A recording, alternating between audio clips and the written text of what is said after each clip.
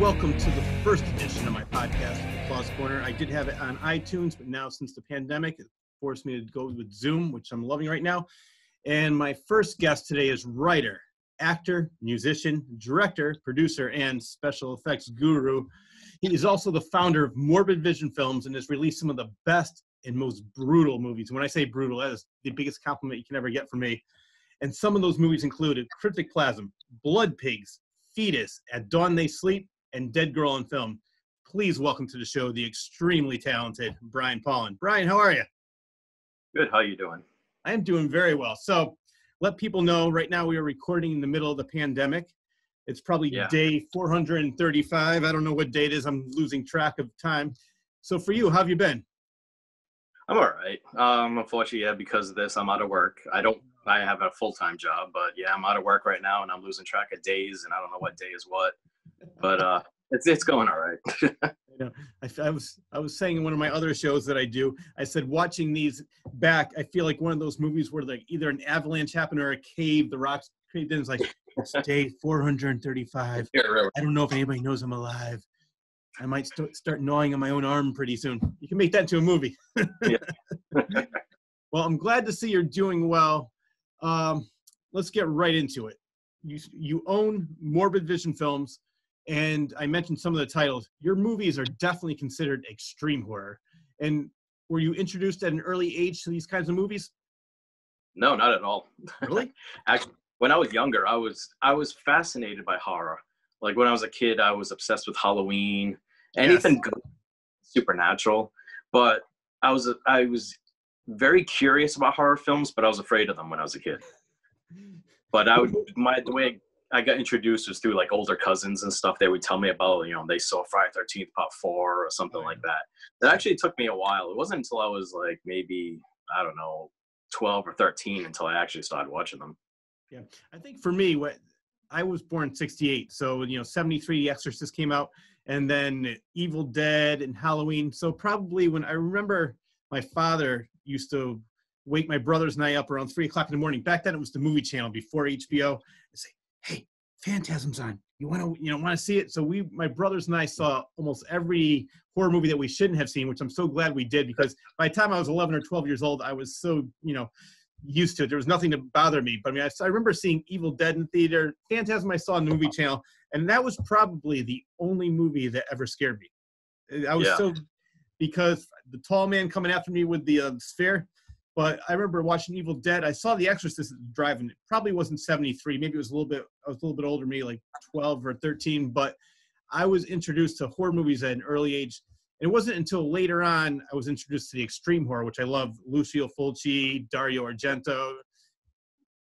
So for you, um, because I know they said we your movies are very very extreme, which I love. I think they would definitely be at the top of the video nasties now, because you know what the video nasties are, I'm sure.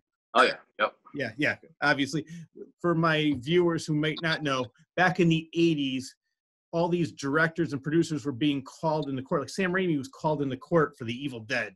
He, he- they were faring jail time, but that made their movie so much more popular because everybody's like, "I have to see this movie. What's so bad about it?" And I think that the video nasties actually made movies more popular, and more people wanted to see them because of that. So I think your movies would definitely be at the top of the list, and that would be the highest compliment anybody can ever give your movies. Oh yeah, absolutely. I mean, all that does is give so much publicity to the movies because we had it happen to one of our films. Um, obviously, the video nasties was England, you know, way back, Yeah. but uh, we got banned in Germany Really? and Which well, movie? fetus, fetus, fetus, fetus got banned in Germany, we got we have received two different uh, lots of paperwork from uh, the German government saying, "Do not send this into our country anymore." My God, how'd they how'd they find out about it? They confiscated someone's package when they ordered it. That's They- I funny. randomly i i think because germany has a really strict policy against extreme violence in movies Yeah, i heard it still goes from uh, world war ii they just kind of like they just don't want anything to do with that but um i think if they keep seeing a certain movie company entering the com- the country they eventually they must have been what it was they must have just um, confiscated someone's package they saw Morbid Vision Films again on a package so they opened it up and of course as soon as you see the cover of fetus i'm sure that's very happy I love that movie. They actually, they actually had a court case. They had they um had a federal court case. They had the whole whatever it is. You know, I'm not sure who exactly they are, but they all watched the movie and they deemed it inappropriate for Germany. Mm-hmm. Did you have to go to court? I was invited. There actually was the paperwork that says you can come to the hearing, and I'm like, hell no. I know. you Well, it was- pissed at me. It was nice of them I'm to ask. Yeah, if you want to go to court, I would love Well, to yeah, see yeah. that. I'll go to another country, and then all of a sudden, oh, by the all right, there's a 20 day jail period that comes with this, and I'm not Oh, I know. for 20. Then no, give go ahead. But the thing is, um, once it got banned, it gets added to an actual federal government website. So they put the name of the movie. They actually put my name, the company name. I think they put my home address on the page as well. Oh my God. But the next day, we got flooded with orders for fetus. Perfect. I mean, that's exactly what we were talking about. Yeah, exactly. All it did was give it publicity. And I had um, a fan from Germany write to me. He's like, Congratulations, you're on the government list now. You're my hero. The only problem was we had to figure out how to get all those orders to all those people. You know what's funny? I got to tell you a funny story that happened to me with your movie Fetus because Yep. I met you at Rock and Shock, which is Yep. a, a convention. Unfortunately, no longer, and I don't even know what's going to happen in the conventions now because of uh, what's going on with the pandemic. Because Phantasm is doing it, they just did a virtual online um, convention, which I'm not sure how that went. I'm going to be interviewing Reggie sometime soon, hopefully, but I want to talk to him about that. But anyway, so Rock and Shock, you had the actual fetus that was used in the movie. So I took a picture of it and I put it on my Facebook page for Father's Day. My son and I want to wish everybody a happy Father's Day. I got so many posts. It was actually taken down off of Facebook because people were complaining about saying, You're disgusting, you're sick, you Really? should be killed. the funniest thing about that was my I have a public profile because I do stand-up comedy, I do other things, and Yep. and a lot of these people I'm getting the fights with, I don't even know who they are. People that know me know my sense of humor.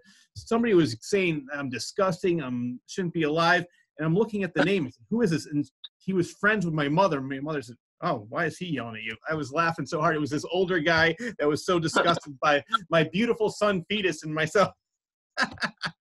So, I do have to say, I remember what was that? Go ahead. I remember that photo. Wasn't it just I think um Rich George had put the had put the baby fetus in his stroller.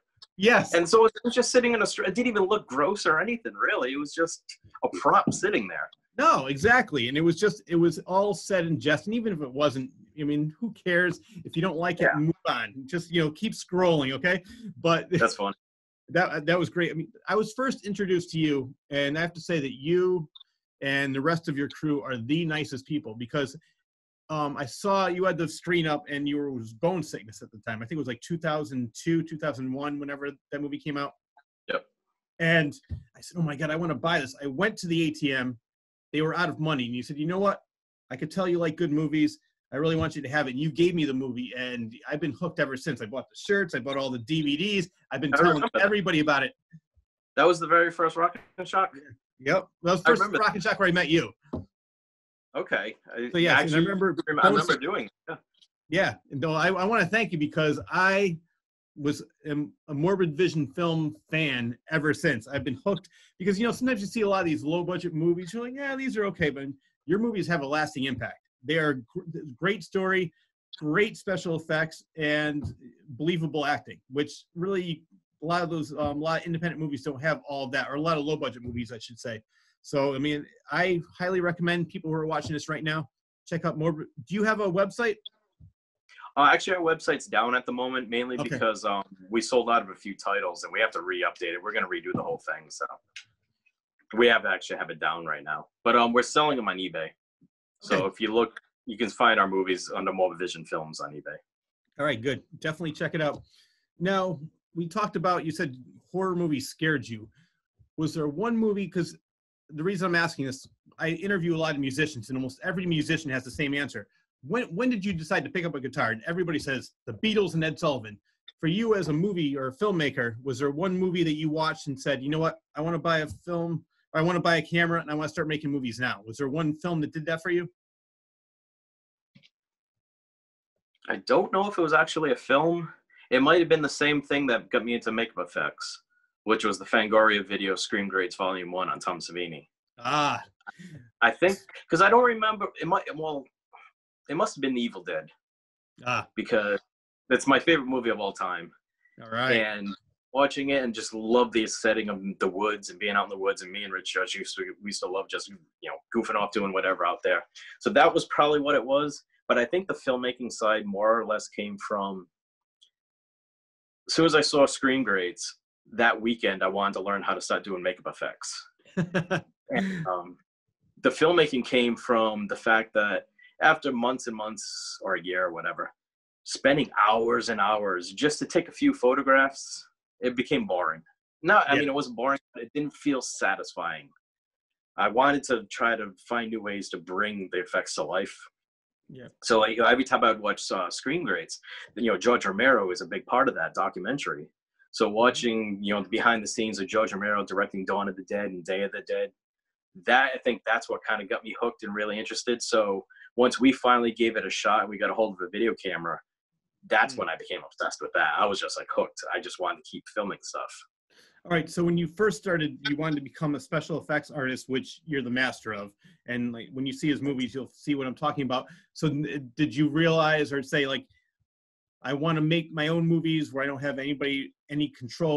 Somebody has control over my movie, so where I can show all my effects. Is that how you decided to become a filmmaker, along with special effects, or did you have aspirations to become an actor and then a director as well?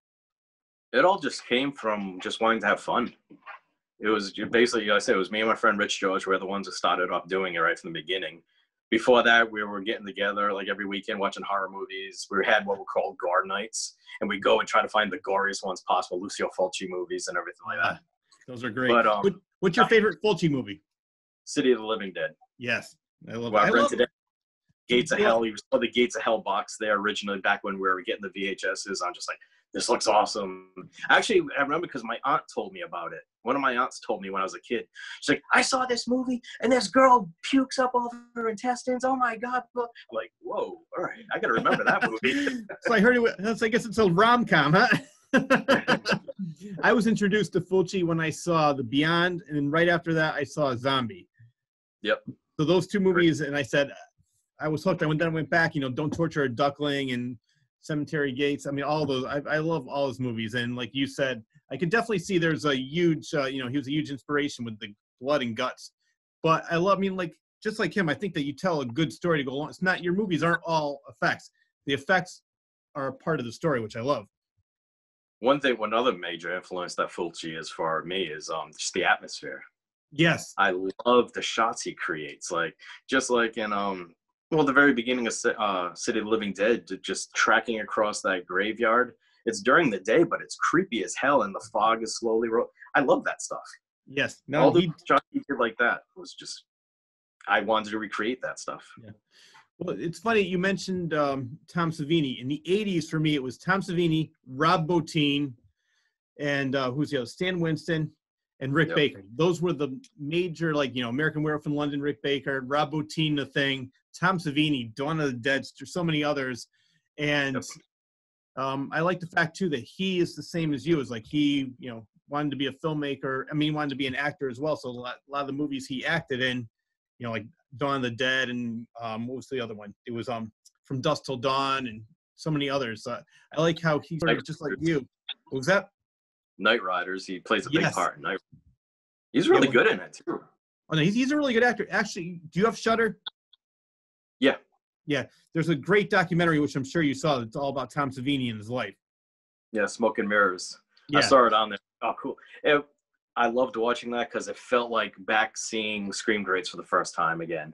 yeah. It got me. Uh, it, it was perfect timing too because it was actually within the first or the second week that I got laid off during this you know pandemic thing. yeah. And I'll admit, I I was lost. I was just like because we were open for the longest time, so I we we didn't get shut down. But then all of a sudden, I got forced out of work, and I'm like, oh no, not not being unemployed again, blah blah blah. So it really messed with my head. And then I saw uh, Smoke and Mirrors on there, so I watched it one day, and it's like I just forgot the whole rest of the world.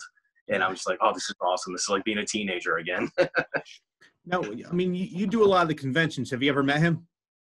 oh yeah, met him Yeah, a few times. Um, first met him actually at Spooky World. Oh, really? Oh, wow! I In forgot it was Berlin, Mass. Yeah, we worked actually. Yeah, it was the very first year. Um, me and Rich, we worked at Spooky World. Um, his aunt actually lived right down the road for them, so she told us all about it.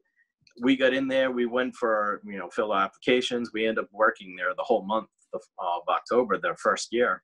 And we're hanging around one night, and they said they were going to have this little convention on um, the Saturday night, uh, Friday and Saturday night, whatever it was, the, like the second weekend of the month. And all of a sudden, the owner just casually says, "Oh yeah, so we're gonna have Tom Savini here, Kane Hodder," and I'm like, "What? What? What?"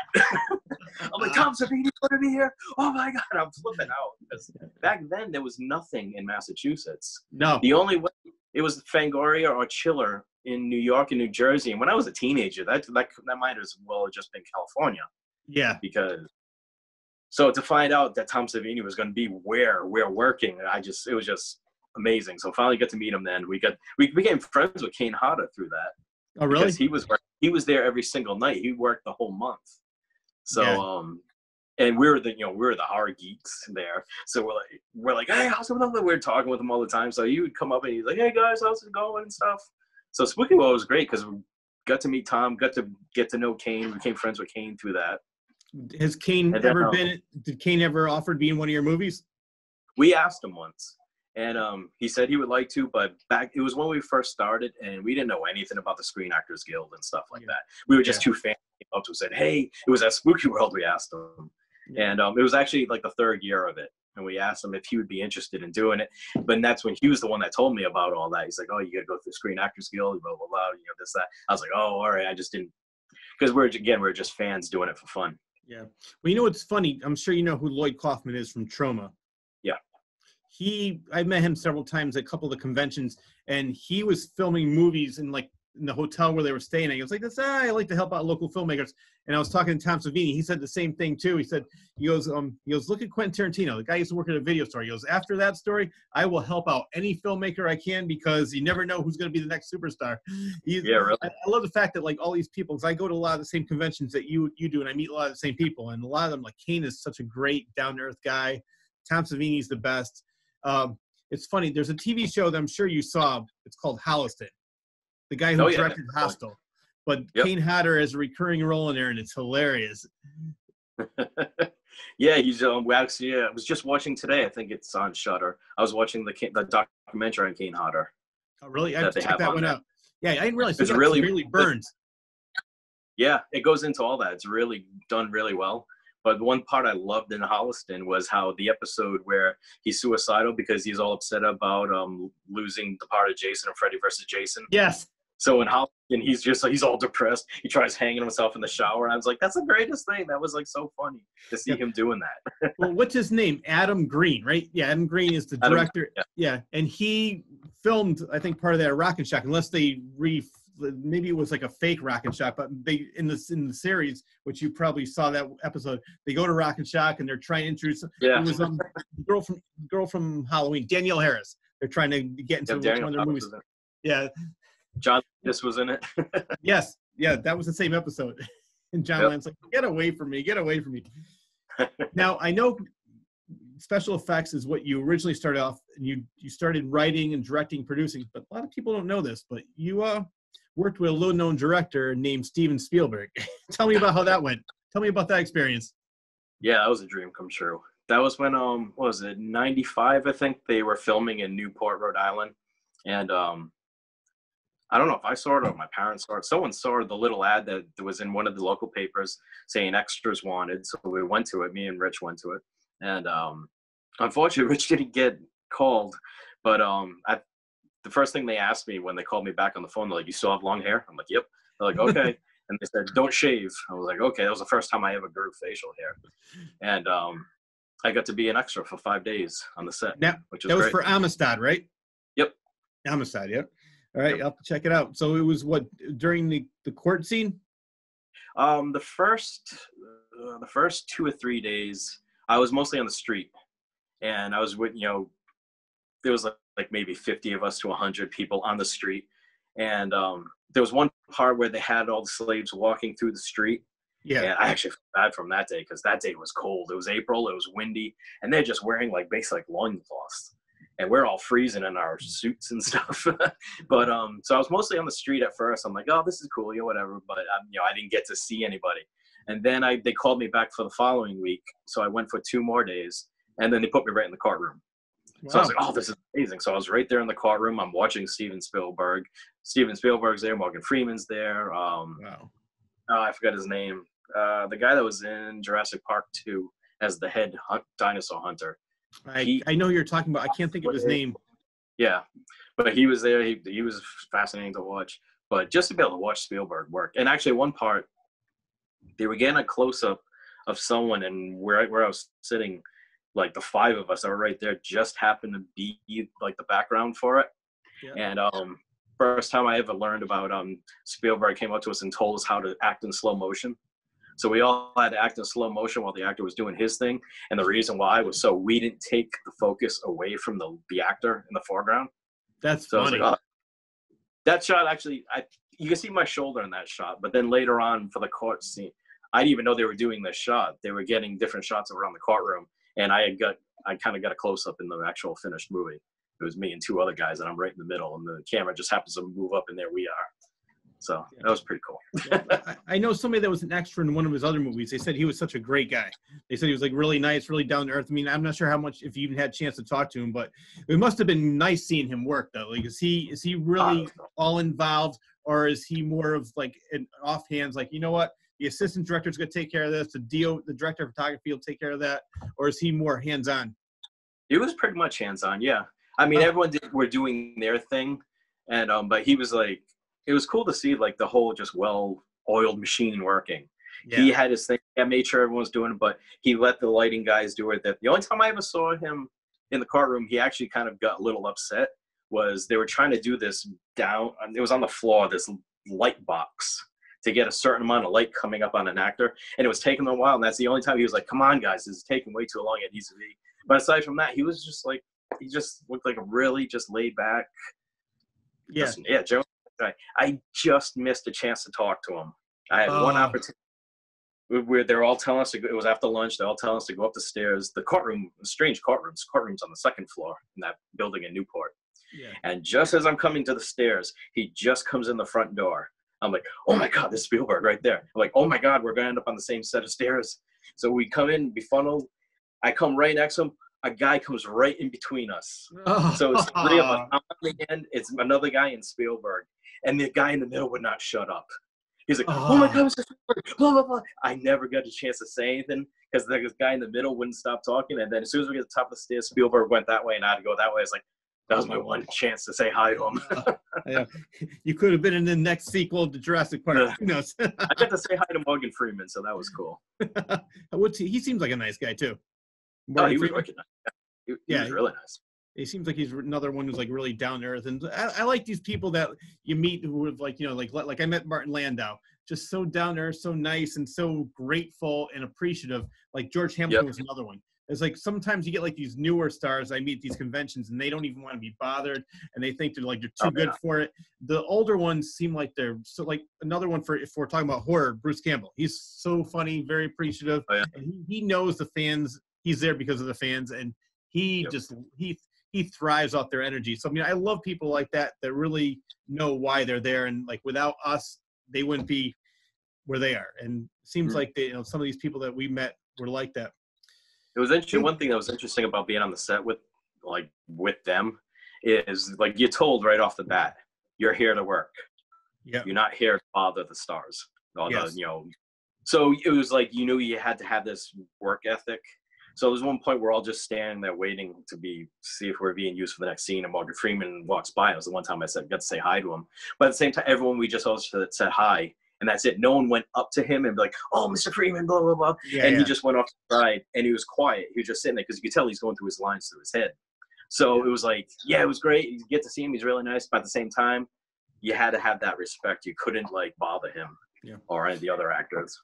Well, a friend of mine was um, an extra in The Irishman, Martin Scorsese's latest movie, and he said there was one part. There was a part where Ed Norton plays Don Rickles, and this one extra just kept staring at Joe Pesci and looking at him, and, and Martin Scorsese says, "What the fuck are you doing here? You call yourself a fucking ass. He was going off, off on him and going on and on. He goes, you are so the most unprofessional ass. I mean, like, he was just telling me, he's like, I can't believe, like, the poor guy probably never even uh, came back after that. He was just mortified. But yeah, so I mean, like, I, I do understand that in a way. I mean, you don't have to be like that, but just like you have all these big actors and you have like people that, you know, who first time on a movie set, they're going to, of course, want to like talk to all the stars. So, I mean, they probably have to set the tone right away. It's like, we're here for a job. They, we need to get the work done. So, but yeah. getting back to you. Now, uh, a lot of your movies, I think, are more um, foreign influence? Like I said, uh, the Fulci, Argento, or do you prefer American movie, American horror movies to uh, foreign movies, or do you like a little bit of both? I love them all. Yeah, I love every. I mean, the you know the Italian '80s Italian horror, obviously huge influence. It just happens to be that um, all my favorite horror films are from the, pretty much the '80s and the '70s, and they all just happen to be American movies. Yeah. But also, I love Japanese horror. I love what the Japanese do. South Korea makes amazing horror films. Um, so yeah, I, I, love movies from all over the world.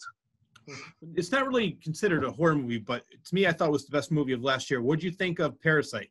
I, I still haven't seen it. Oh I my god! Yeah.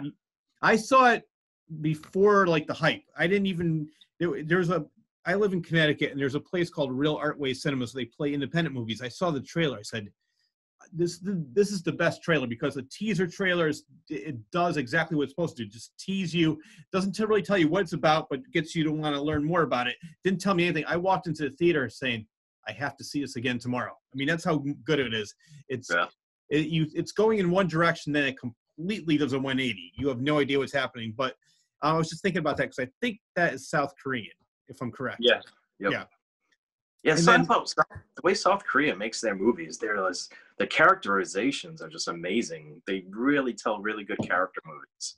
Yeah, well, I think that's so important. So many people, and this is Gene Siskel had a great comment before he died. You know, Siskel and Ebert said the last good movie was made in the 70s before CGI because back then you had to rely on character development and a good story. Now it's all about CGI. It's like how many explosions can we get in this scene? Like trans, yep. use an example, Transformers or and I think the movie that sort of ruined it for me when it first started coming out was the movie Twister. Like the oh, whole yeah. movie for me was, hey, there's a Twister. Wait, there's a bigger one. Wait, there's another one. They were basically just showing off like how good the CGI's were, and it really, to me, it didn't really have that good of a story. I prefer that. I love like what you just said, a great movie that has great character development. The Shining is a great example. Yeah. Where, I mean, it just builds and builds and builds. The tension builds up, and finally, bam! Jack Nicholson freaks out but instead of like now, I think audiences, and you can tell me what you think. I think that more, it's more like we want the action right away. I don't want to wait an hour and ten minutes until the uh, the killing start. I want the killing, and then maybe do a flashback scene of what happened six months earlier. You know. Yep. I think exactly. people have it's ADD nation. I'll admit, even because of that, my movies, I always make sure I, I we call it the kicker scene at the beginning. I'm like, okay, I know my movie. People watch my movies for the gore. I yeah. know why come to see it. So I do always make sure I put a scene at the very beginning before the credits, nail you right off the bat, and then we make you wait as we tell the character story. No, well, no, I see. I love that, and that's great. It's sort of like the James Bond movies. They have that one killer scene in the beginning where James Bond does something, and then the rest yep. of the movie sort of builds up to like he has to catch a spy in Russia. You know, whatever the whatever the premise is. But yeah, no, I I love that. But if you just did all gore after gore after gore, I think it would sort of become tiring. Yeah, it's boring. Yeah, you I mean you, you have a great story, but you're right. Every movie you have, the beginning just kicks off and you're like, all right, now I have to watch the rest of this. I want to find out what happens. So I I, I love your style of making of movie making. An now, example no characterization. An example of no character building or anything. I just watched a couple of weeks ago that new movie Underwater. Oh yeah, it was um, horrible. It wanted to be Alien so bad, and it's. Just, I wanted to watch it because I heard someone hinted that like it's it's like the closest you're gonna get to Cthulhu in a movie. I'm like, well, I have to watch this movie. So um, as soon as it starts, I'm like, all right, there's a voiceover, and then boom, explosion. Ah, I'm like, yeah. You don't get to know any of these people. Who cares about these characters? Yeah. Was that, that's the, the one, movie, that's the one with Kristen Stewart, right? Yeah. Yeah, yeah, that's what I thought. It was. I was. Excuse me. I was so bored, and after a while, like you said, um, who just got killed? I don't know, and I don't care. Yeah. That, and when you when you get to that point, It was similar. I just did um, another show I do called Reel Talk where I talk about movies. We just uh, my friend and I were talking about the Thing, the Thing uh, prequel, and then the Thing from Another World. And I said I love the 1982 John Carpenter because he has great characters and you care about them. The Thing 2011, people are getting killed. I can't. I don't know one of their names. I don't know what they look like. I mean, I got so confused because they're all you know, it was supposed to be the Norwegians before the first before 1982, and yep. I just lost track, and I really didn't care. But when you have great, that's another movie that sort of builds slowly and slowly, and just you know, it's like it just burns for a while until the end. But uh, and it, again, I'm not sure if you, I'm sure you're a big fan of Rob Bottin as well. He, oh, absolutely. Have you ever met him? No, I've never met. I heard he. I heard he doesn't really do many conventions. Yeah. I guess done some Fango ones back in the early days, but he's very, very reclusive. I've heard. Well, he he was. I saw an interview with him, and he did the Howling at age 20. The thing was 22, and even and I look at that now. The special effects in 1982 were so much better than the CGI in 2011. Look more realistic, and they were puppets with Stan Winston. He did part of it. I mean, I we can go on and on about that, but now for your movies, do you ever i'm thinking of this because i just learned it's the dogs and the thing were puppets. Do you ever use anything like that or is it all props? Like i see something in the back you create them and or do mm-hmm. you have like different things that you do? Oh yeah everything's made from scratch pretty much. Wow. Starts off you know with clay sculpting clay on the plaster uh, molds we make from actors. Um, since i've been doing it for so long one re- one way i'm able to do so many effects is uh unfortunately I don't save anything. Uh, there's like never it's never going to be a Morbid Vision Films museum of all the props because oh. everything gets down and reused. So like actually, if that zombie that's in the background, that was actually that one there was for a movie. Um, I did a small scene, directed a small uh, cameo scene of me and Rich and um, a couple other friends for a movie in Belgium called Zombies from Sector Nine. So I made I had to make uh, all my other zombies were like had fallen apart or whatever. So I made them a brand new zombie, but that's from the Blood Pigs mold. Ah. So I knew I liked them. I like the way the mold came out, like the you know, sculpt on it. So I was like, all right, I'll just use the Blood Pigs one. So it's a Blood Pig zombie that's in his movie. Uh, same with um some of the stuff, some of the zombies and bone sickness. I think um some of them were older molds I had made that I never used for anything, but I knew I needed some more zombies. Grabbed an old mold from years ago, made a zombie, you know, made up a new zombie out of that design. Uh, cryptic plasm definitely was so many recycled stuff because the stuff are so big in that that yeah. eight foot tall plasm thing at the end of the movie that was basically everything I ever saved, like in in drawers and everything. I was pulling out everything from all years past, and I'm hot gluing it to this thing. Whatever happened to my baby fetus? that got saved. Oh, good. the baby. That's what the the baby fetus and the the boil wife from fetus. Her head was saved because I managed because um usually like I want the skulls that I build them on because I always use them as formations, you know, to build more effects on. Mm-hmm. I had three of those. So I'm like, you know what, this one can stay aside. I still have two more. So I always, uh, her head is still in the garage, and I actually a lot of times I'll bring her to conventions. I put her next to whatever the monitor where we're playing trailers on. Yeah. Um, the fetus baby's pretty beat up by now, unfortunately. Because one thing that happens with sometimes with a uh, foam latex, if it's pulled or depending on how it's shaped or how it's in place, it'll start to rot. The air bubbles get into it and make yeah. openings eventually. So the fetus baby is starting to rot away a little bit. Ah, uh, my poor baby boy. yeah, the boils basically fell off the bottom part, so it, the baby has legs again. now we were talking about Shudder TV earlier. Have you seen some of the um, original Shudder movies? I've I've been watching some of them. What's yeah. the only uh, positive thing for me out of the being stuck home is I'm finally watching movies again. I went through a phase where I went about a year and a half. I wasn't watching anything anymore. Wow. I don't know why, but now all of a sudden, I'm, now that I'm home, I'm finally watching a bunch of movies. So yeah, I've seen some good ones on there. Yeah, I was gonna say it's like Mayhem. I wanted to re- recommend that, or Daniel Isn't Real. That stars um, Miles Robbins, which is Tim Robbins and Susan Sarandon's son, and Patrick Schwarzenegger, which is you know Arnold's son. It's a great movie. It's one of those movies. check that out. where- yeah, where Patrick Schwarzenegger, without giving too much away, he is a friend that was created from Miles Robbins because he was Miles was bullied, and he comes back, but he becomes real. It's it's a really good movie. It's I have uh, to check that out. keep seeing yeah. the the artwork, but I wasn't quite sure about it. But yeah, I'll have to check that out. Well, you know what I like because um, we're friends on Facebook, and I see some of your posts, and you mentioned the curse movies, and I was laughing so hard because I agree with you 100%. They can find anything, you know. Oh, I mean, if you look at all the movies, do you think John Ritter died because of the curse of Problem Child 2? I don't think so. Yeah. but because it I was mean- a horror movie, oh, the devil did it on the on the Omen or the Exorcist. No, they no, he didn't.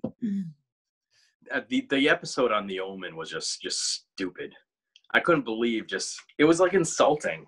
and I was like, okay, all right, fine. They're still pushing this thing to you know publicize the movie, but when they had like the black magician talking about, it's like, shut up, seriously. It's like, come on. I mean, right now, actually, the room I'm sitting in, this is my basement. Yeah. It's just the easiest one to. I will admit, my drum set is like right behind my camera, and behind my camera is a full size Baphomet flag from the Church of Satan, and it's there because it fits with my band music. But I just because I have a flag of a Baphomet, my house is not cursed. It's not no. There's no you know black cloud over my house because of this. You know they make it sound like oh my god, you deal with the devil. Shut up. It's so stupid. Well, you know, I'm not sure if that's the same Church of Satan, but there's a documentary about them, I think, and it, Oh yeah, I saw that. Oh, it's it's hilarious. And the funny thing is, if you, I mean, people who are watching this might say, "Oh, I can't believe they're saying this," but their tenets are actually way better than the Ten Commandments. I mean, they basically want you to respect other people. They want you to Yep. like, you know, there was one person that got kicked out of the Church of Satan, and she goes, "How extreme do you have to be?" Because she was just doing some weird things, and they're like, "No, you're not our kind of people." So, I mean, they're yeah, actually was just trying way too hard to be. I'm so evil. Look what I'm Yeah. doing. And, and Yeah. she ended up just yeah, she ruined it for like her whole that whole area wherever she was. yeah, Just being stupid. yeah but yeah, I mean, they're basically they're just basically a human rights group, really. Exactly. And it was all, the whole thing about the statue, and they put the statue over there, and they want to see people want to take it away. No, that's our right to keep it there. And I mean, there's a- it's check. out I can't remember the name of it right now, but maybe I'll put Hail it in Satan. post. Hail Satan. Yep, that's it. Called check Hail that out. Question mark. Yes, I saw that not having any idea what it was, and that's another one where I said I got to see this again because it's done very well. And like I was saying, the tenants that they have are much better than the Ten Commandments, and they're just it's not it's not all evil. They're not sacrificing bodies. Has nothing Nope. to do with Satan at all. nope. I went to the one in Salem. Cool place. Oh, really? Oh, I, I That's went there years ago. Yeah. Yeah. Oh, I really? got- I- yeah, How it- well, it? it's an art gallery now, but now it's opened up. Like, I don't think it's open right now. Well, obviously it's not open now, but um, I think they open up during the summer and the fall mostly. okay. But uh, it's it's the Salem Art Museum, but it'll say I think it says the the Satanic Temple Salem Art Museum, and it's a black black building. You go in, and that's where the statue is. I got my photo taken with the statue. Things So cool. Oh, really? Yeah, they have it in Salem right now? All right, Yep. I'll check that out. I didn't realize that. Now, you mentioned drums. So you're a musician, like I mentioned in the intro. So you, were you always a drummer? No, I actually that came out of necessity mainly. I started playing guitar when I was a freshman in high school, Mhm. and uh, so I've always just played guitar my whole life, and I've always, you know, made the attempts to get a band going. Never been fully successful with it, but um, once I decided I really wanted to record some music, I could never find drummers that were fast enough that played. You know, I played black metal, and I play like the fastest version of black metal. You know, and that type. Of course. So- Why'd I ever, why'd I ever doubt you? the most extreme, another extreme, of course. But I could never find drummers that could that could play fast enough. So I was using a drum machine, and I got sick of doing that. and didn't like the way it sounded. It just felt like cheating. So I said the hell with that. I bought two used drum sets, put them together, so I had the true double bass, Yeah. and spent years and years just trying to learn how to do it. And I'm finally at a point now where I'm like comfortable with what I can do. So, but it, yeah, I I learned I learned how to play simply because if I want to record music, I have no choice. I have to do it. Do you do music for your own soundtracks? Like for your movies? Um, yeah. Uh, a lot of times, um, some of the early ones, it was all me. I would rent a keyboard from um, uh, from music stores locally, but then that that started becoming more difficult to do. I met some other people. Uh, Fetus, my friend Matt Meserve, he um, he's the one that came up with that really nice piece at the beginning in the hospital scene, mm-hmm. and yep. then the whole finale while I'm doing the ritual. That piece, he did all that music. I love that piece. I love what he did there. Oh, and then he also came up with some stuff for Blood Pigs. And then he let I rented his keyboard from him, and all the lesser musical stuff throughout the movie is me, me oh. faking it on keyboards. I can fake it. I can do all right. Um, Morbid Tales is hopefully coming out soon in a couple of months. I did all the music for that one. Now, what's that but, about? what's that Morbid Tales about? Is it an anth- anthology or trilogy? Yeah, that's the that's the anthology. Okay. Um, we the one we finally did because everyone over the years, so many people kept asking to see the very first short films we ever did because I had pictures of them. I had little descriptions on the website, but I wasn't comfortable selling them because I'm like, no, they're our first movies. They, the quality is terrible. We didn't really know what we were doing. But then finally, I brainstormed and I'm like, I came up with this idea of this anthology with shooting all new wraparound stuff. I'm like, okay, you know what? If we do a new wraparound and we f- make another finale just as big as what we're known for for our finales, then I'll feel comfortable releasing it. So I'm happy with what we did. So now it's fun. Then people will get to see the origin, the very first three we ever did. All right. Now, is that going to be coming out soon, or because of the pandemic, did you stop filming, or are you just working on your own with the effects? It's been done. The movie has been finished for three years. Okay. It's basically the first time where everything basically came. We just weren't able to release it because we didn't have the money. Uh. It was like it just one of those situations where like, what the hell? We can't do this. We can't pull this off. How are we going to do this? And then finally, we have a distributor in Europe who handles all of our European sales called Black Lava, mm-hmm. and um, great company, uh, independent. They're really into the extreme stuff, but um, so they uh, we had we made the mask. Wait, how did we do that? I'm trying to remember how we did this. We did some stuff here, sent all the materials back to them. They made their master because being Europe, they all and Germany is right next door. They didn't want to have German subtitles, so they did all the German subtitles for that. Mm-hmm. Sent it back to us. We created a master that was all region playable all over the world. They, for some reason, they weren't able to get the NTSC to work mm-hmm. because they're all PAL, all Europe and Earth is the PAL format. So we were able to transfer it here, sent the master back to them. So right now we're in the process. It should be getting to them any day now. And then they're going to take the master. They're doing. They've got the artwork pretty much all set now. And then they're going to send out the master copy and have them duplicated. So they're having it created. We're going to buy copies from them. They're supplying with us with a bunch of them. So then we'll finally have it available. We'll sell it here in the United States. They'll sell it all over Europe, and they sell all over the world too as well. Right. Well, you know, that makes me think of something. Years ago, in the uh, golden age of video stores, Hollywood Home Video, I was in the horror section and I saw Bone Sickness. Did you have a uh, foreign distributor? How did you get picked up by? Because I know most of your movies are done on Morbid Vision. Is that correct? That's your film company. Yeah. Did you have somebody pick up Bone Sickness, like a major company? Yep. Um, that was Bone Sickness was the first time we tried doing it ourselves uh, at They Soon to Be Dead, At They Sleep, and Dead Girl on Film were all put out by three different dis- uh, distributors. And even though it gave us some exposure, there was never, there was always lies. we were always getting lied to. Yeah. Why there's no royalty checks? Why this? Why that? Of course. And once I got married and Stacy decided, she's like, she's like, let me do it. Let me become the business manager. Let me sell our movies. We'll we'll place the order. We'll have the professional DVDs made. Yeah. So Bone Sickness was the first one we did that way, and we sold it for about a year on our own. It it took a long time because we still weren't really known then, even though we already had like three other movies out. It took us a while to get noticed. Bone Sickness was the one where what we're known for, everything clicked. Because that's, that's, that's when I came onto the picture too. That was like the first movie I was introduced to you guys by, and uh, seeing that one, and that's when I went back and watched everything else. But so Bone Sickness, who were they picked up by? What was the name of the company? Uh, Unearthed Films. Oh, Unearthed yeah. Films. They were the ones that were known for um, releasing the Japanese guinea pig series in America. So they were the ones releasing the most extreme stuff into America at the time.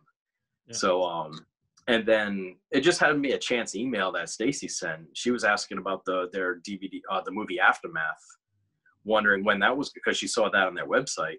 Yeah. She used the business email, and he they wrote back and they said, "Hey, what's with this Morbid Vision Films?" Blah blah, and it just went from there. So we we end up signing Bone Sickness with them.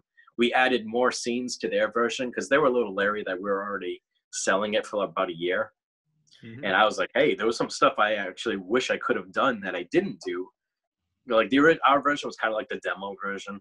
Yeah. And then we got to go back and add different things, fix some stuff, and then that was their version. So they they're the reason why they worked with um middleman distributors that got stuff out into retail stores. So that's how we ended up in Hollywood Video. Oh, good. And then after that, you went back to uh, just release. That's when you started releasing movies on your own. Yeah, they, they like, were interested. There was a couple of companies that were interested in Fetus, but we were just uh, I don't know. I can't remember exactly what exactly happened, what it was, but we're like, you know what? Let's go back and handle it ourselves again. And, and I knew Fetus was going to be a lot smaller. It wasn't as big as Bone Sickness, and it's more extreme. Like, there's no way Fetus is going to get into Hollywood video, anyways. It's too extreme. Yeah, exactly. So I'm like, let's handle it ourselves. Did Unearthed Films ever tell you to delete something or get rid of this scene or change that? Did they ever censor anything? Nope. Oh, good. No, they love the fact that we put at, we put all the extra scenes into Bone Sickness. All right, yeah. Well, let's get back to music for a minute. Well, first of all, I love your shirt, Wendy O. Williams. Oh, Not yeah. Wendy Williams, Wendy O. And it's funny, she lived in Connecticut. I live in Connecticut. She was a veterinarian for a while before she committed suicide. Really? Yep. No way. Not oh, too oh, far. Did you have to get to? Did you no, get to meet I wish I did. I didn't yeah. find out until after her suicide, and I was reading the article about her. I said, "Oh wait, she's a veterinarian. Wait, she lives in three towns away from here." So I would have loved to have met her because I, I'm a huge fan of Plasmatics. I still remember that video where she's driving the bus through the TV sets. Yeah, whatever yep. that was. Yeah. Oh, yeah. I love Plasmatics. She's amazing. She she was, I mean, she was like a stunt person practically. She was the like the most badass yes. lead singer, any like male or female ever.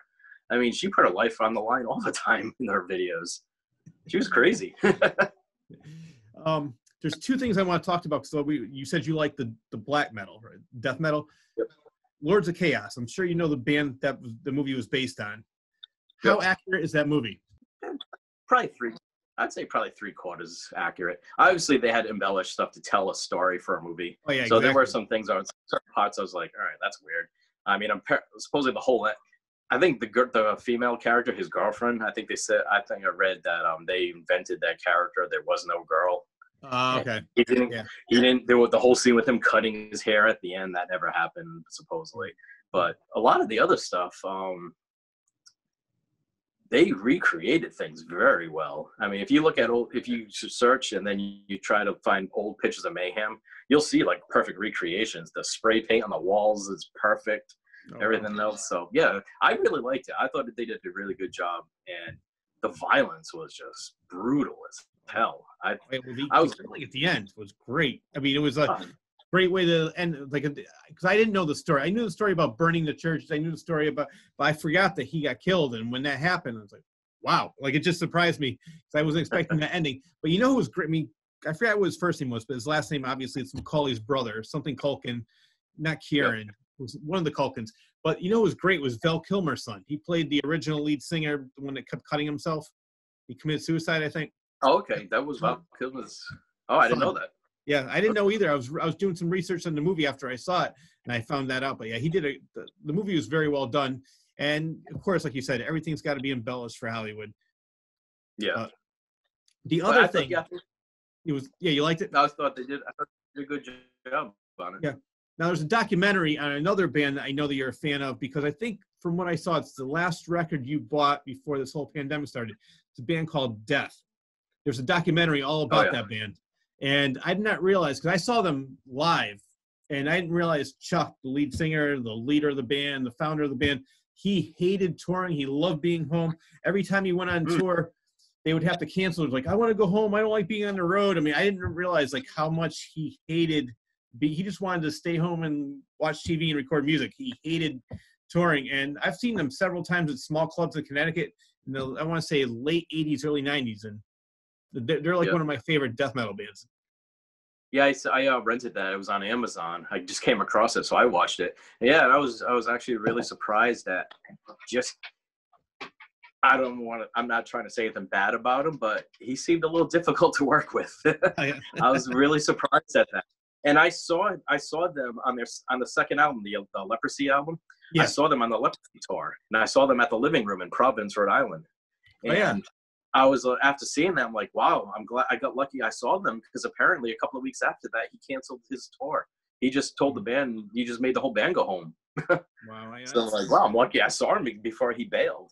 Yeah, I'm trying to think because there's a drummer, the, the drummer for Iced Earth. I can't remember his name. Um, he's on the Howard Stern show, but he was part of Death for a little while. I'd have to look his name up, but um, I, I, don't. I'm not sure if I saw him in the band because I know that he went to Iced Earth right after that, and then he was only in the band for a short time. But I saw him in a small club. It was like basically a warehouse as big as this room that I'm in right now, Oh, and they were always one of my favorite bands of that era. And it's just that, yeah, watching that documentary, I was very surprised by some of the allegations, and I thought the same thing too. I'm like, wow, I didn't realize how difficult he was, but Yeah. still uh, produced great music. And I, he, I guess he can actually sing, and he wanted to do more melodic stuff. So he came out with the other band, which was I listened to. I still like Death better, but they were pretty good. The band Yeah. after Death. Now, uh, I want to get back into your movies. I, I like to go back and forth, and there's really no rhyme or reason to this. I just like talking to you because there's so many interesting stories that you have. Now, one of your movies was stolen. I remember this. Did they ever find the guy that stole your movie? You were you had the master tapes, I think, and somebody broke into your house and stole the movie. Is that Oh. true? I know it's It probably a while ago, but It was just um yeah, house got robbed. It was we had basically finished filming Fetus and um the camera was stolen and there was a footage tape in the camera. So we Oh, only we only lost one footage tape, which Oh, luckily o- it only had like three scenes on it. But what scared me, and I think I wrote about it once on Facebook, was um, two days before, for some reason, because I had this really nice case that it was like waterproof and everything. yeah. For some reason, I just decided to put all the master tapes to be safe inside the case, and I closed it. And then two days or the night before, oh no, it must have been two days before, I opened them like, no, I never do that. I put them back on the editing desk. And it's a good thing I did because the whole case was stolen. Wow. And so Fetus would have disappeared just like that if I hadn't taken the footage tapes out of the case. Wow. Did That they ever was- find the guy? No, no, the cops didn't even care. Yeah. We had the cops in the house and they, they could care less. They just did their report. They're like, just call the insurance company. My, I had um, the Dawn of the Dead Elite box set Laserdisc in a nice shiny case that's up, that was up on the entertainment center. They, they pulled the entertainment center forward to unplug everything. And I don't know if that thing was falling. They actually took it and put it on the couch. You can see his fingerprints on the plastic Oh, glossy. I showed the cop. I go, look, there's his fingerprints. Yeah, they care. yeah, they don't care. I mean, they didn't. Like that. obvious- you know, maybe if maybe if it was a Gone with the Wind that went, went missing, or you know, but, you know, fetus. All right, guys, we'll wrap this up. Yeah. Well, I'm sorry to hear that. But because of that, like I said, we had to go back and we had to refilm that footage. Yeah. But at that, but then by that point, I was just pissed. I would so too. a lot of of my rage and anger from that, a little bit more. It, it, fetus became a bit more brutal than the first, the first time we rapped. That's the best silver lining story I've ever heard. it made me more angry and more. So, but are there, is, what are you working on now, and when can we expect a release? Is it more? Is it Morbid All right. Tales? Morbid Tales, which I said we finished that one about three years ago. We're finally getting it out there. Um, that's in the hands of the European distributor right now. So hopefully within a couple of months they'll actually have the DVDs ready to go out. Right, that's on eBay. Um, I'm just about. Um, it will be yeah, yeah. We'll have it on eBay. Maybe we'll even have our website back up by then. I don't know. We'll we'll see Okay. what, exactly what's to happen. But then we're also we pretty much finished uh, shooting another movie called Septic, Ah, which going to be by far our most brutal movie ever. we were getting banned in Germany once again. Definitely when they confiscate this one. Um, is there anything that, like, say somebody bought your movie and they get caught with it? Do they get in trouble, or can you get in trouble? Um, if the only place we have any problem is in Germany, and the only one is Fetus. Blood Pigs got confiscated. It passed. It got reviewed. It got passed. Well, Bone Sickness, I think, got confiscated. It Got passed because they're monster movies, really. I mean, Fetus yeah. is away, but um, if so, if someone orders Fetus from us, we tell the German customers don't buy from us, buy from Black Lava, which is fine for some reason. But if they did get caught with a copy coming from us, basically what they they'll just lose they'll lose their order. They might get fined. I'm not quite sure, but basically they just they'll lose the money from the order. Nothing can happen to you then, right? They can't go after you saying, "Oh, you're selling you're selling these movies to people, and we already know it's banned." They can't try and bring you to court, can they? Far as I know, no. I mean, I think, I think we have the ocean to protect us. That's basically it. I don't think anyone in America, any official in America is going to be like, seriously, we're going after this nobody filmmaker we've never heard of. I don't think anyone care. So yeah, that's good. you might be better to stay stay anonymous for a while. yeah. Don't, don't, hopefully you're you don't become a breakout star anytime soon. I just won't plan on going to Germany because if I go through customs, my name's going to come up. So I just I'll just avoid Germany. That's all. that's that's funny. and um, I know that Rock and Shock, we mentioned that before. That was the main convention that I always saw you at. Do you think since they Rock and Shock stopped doing business, if Chiller or some of the other ones pick up again, do you think you'll um, bring your merchandise there and start selling it? Unfortunately, places like Chiller, we have to be invited because really? it's just it's too expensive. It's too expensive to get the table for the weekend and then the hotel for the weekend. It's just we if we just said the hell with it, let's just do it for fun. Yeah, we'll do that but if we're going to make money, the hotel alone kills all your profits. Yeah.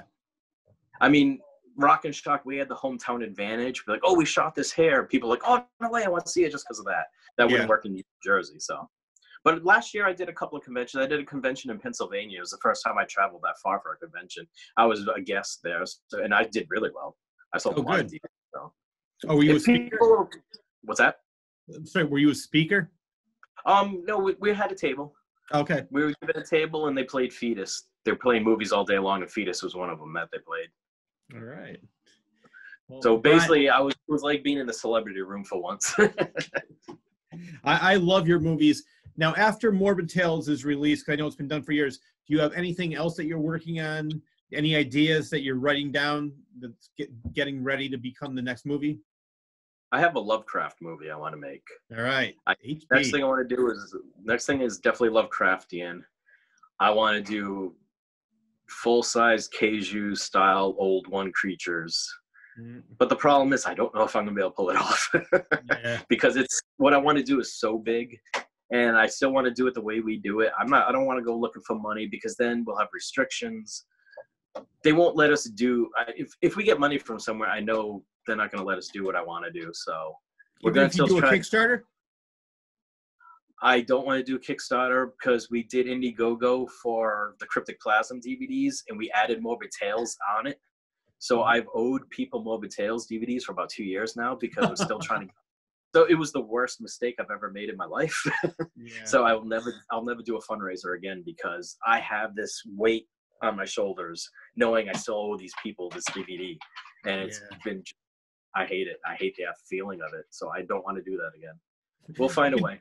We'll, you could do what Sam Raimi. You could do what Sam Raimi and Bruce Campbell did when they were filming the first Evil Dead. They went door to door and said, "Hey, if you give us money for the movie, I'll make you an executive producer." we've had we've had some luck with that. We've had some people saying, "Hey, I would love to help out." We're like, "All right, you know what? We we make a deal. We'll like we'll give we'll, we'll call you an associate producer in the credits." Yeah. And they're like, "Okay, yeah, definitely." So we've had some people. We have some people on Septic. Um, helping out. So. Well, you know what? I mean, if you ever need help, I love your movies. I want to see you continue to make these movies. So I'll be more than happy to help you however I can. I'd love to see my name on the screen with Rich Cyr. Definitely. That'd be great. well, Brian, it's great talking to you. And I cannot wait to see Morbid Tales and Septic and all these other movies that you, know, you have coming out in the future. And that wraps up the first edition of the Claws Corner on Zoom.